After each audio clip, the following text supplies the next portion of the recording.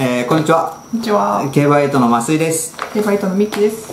えー、今週はね3日間開催が終わって、はい。えーね、土日の開催になりますけども神戸新聞杯菊花賞トライアルが行われます、えーメンバー的にはね G1 馬がいないっていう感じなんで、うん。まあ少しまあね組み合わせ的には小粒かなっていう感じもありますけども、はい。まあ次のね、えー長距離戦を睨んで、うん。どういう競馬をするか結構夏を越してのね勢力図っていうところも注目なんで、はい。見ていきたいと思います。はーい。それでは本命の方は？そうですね、はい。私はもうまあ実績的にもジューンテイクがはい。一番手に上がるかなと思いますね、なんかデビュー戦こそ1004に使われて、はい。まあ、そのまま朝日杯マイルの方に行って、まあちょっと早いってかなんていうんですかその距離はい。短いペースっていうのにちょっと戸惑いつつも、まあ構想してたんですよね、はい。4着、はい。でまあそれでこうマイル路線とかに行くのかなと思ったけど結果的にこう距離伸ばしてはい。結果出てますし、はい。京都新聞杯でもあのすごいもう折り合いに苦労しないタイプなので、まああのいい勝ち方できたかなと思いますね、はい。なんかそのなんていうんですかね。うん立ち回りがうまいタイプなんで、はい。あのまあ先？うん。この次の菊花賞とかでも、うん。あの有力馬に上がる一頭かなと思ってるので。そうですね。はい、まああのー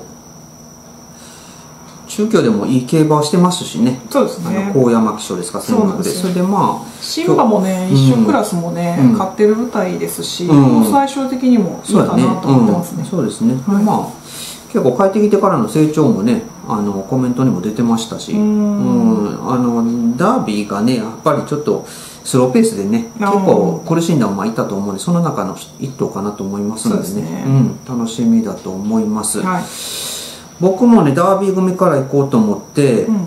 えー湘南ラプンタンにしました。あのまあ青馬車でね 2400m 左回り2着でいい競馬したんですけどね、はい。やっぱりダービーではちょっと、うん、その後お釣りがなかったのかなっていうこともありましたしね。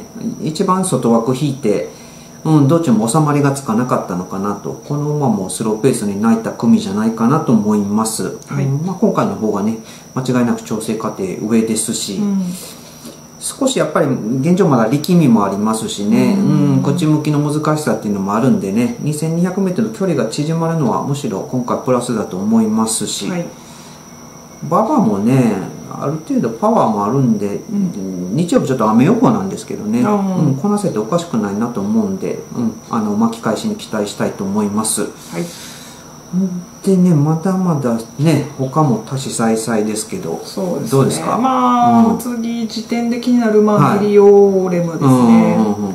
まあやっぱりこう前々走2走前プリンシパルステークスの時、まあ勝ち馬のダノンエアーズロックはい。と、まあ差のない競馬できてましたよね、うん。はい。結構早い上がりにも使えてましたし、はいはい。で前走はちょっと、まあ、勝ちましたけど、はい。もたれてこう追いづらい格好になりながらも、はい。はい。あんだけこう後続を離して、はい。まあ力が違った印象もあったので、うん。うん。でまあ左回りの方が、まあ、持たれてた分いいかなと思うので、まあ、ここでも通用していい力はあるんじゃないかなと思ってますね。はい、はい。そうですね。まあこれも友道記者2頭出しですけどね、うんこっちの方が調教は目立ってましたね。ね。だからまあ、うん、動けていいのかなと思いますしまあこれも道割りで結構ね強い競馬もしてますしね、未勝利の時ね。そうですね、うんまあ、あのシュバルグランうん。の3区でこの馬が今一番手ぐらいじゃないかなと私も思うので、うんうん。ちょっと、出世してほしいなっていう、うん出世してほしいなと思いますね。はい。はいあとはまあ展開の鍵を握りそうな名称束のねああそこれがねやっぱりあの毎日杯が道割りで、うん。あの圧勝だったんで、そう。うん、馬し場が、ね、はい、なんか本気で走ってなかった走ってなかった。あーそうなんですか。だから本気で走ったらどうなるんやっていう話なんですけど、まあ皐月賞でねさすがにあのペースで行ったら最後しんどいかなと思いますし、もうダービーは、はい。もうあの新聞出す日っ に取り消しってなって もうすごいバタバタしたの覚えてますね。ああそうやね。あれね、あの結構エイトの一面軍団が。そうですね。ちょっと衝撃的な取り消しだったんですけど。そうですね。まあでも今回はね順調にいってると思いますし、そうですね。陣営の感触も、まあ上々だった上々やね。これはね、うん。なんか春よりも成長してちょっと折り合いもあの心境あるっていうことなんでですね。入名賞タバルがはい。見られるかもっていうことで、このまあ本当ちょっと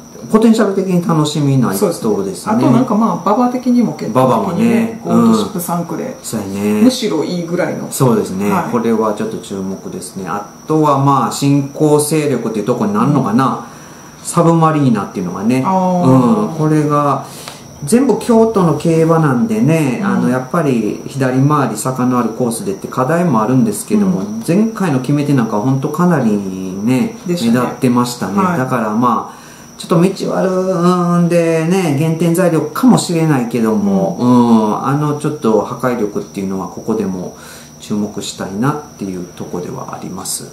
まあ、あとはうんウエストナウとかも気になりますね。まあ、いきなりね、うん。キソーバー相手の未勝利戦で勝ちましたし、そうやね。で、まあ、続くいきなりですよ。2戦目でまた重賞を使ってきて、うん。そこで2着ですから、うん。まあ、ポテンシャルはかなり高いと思いますし、うん。うん。まあ、このメンバーに入ってどこまでやれるか、ね。楽しみの方が大きいんじゃないかと思いますね。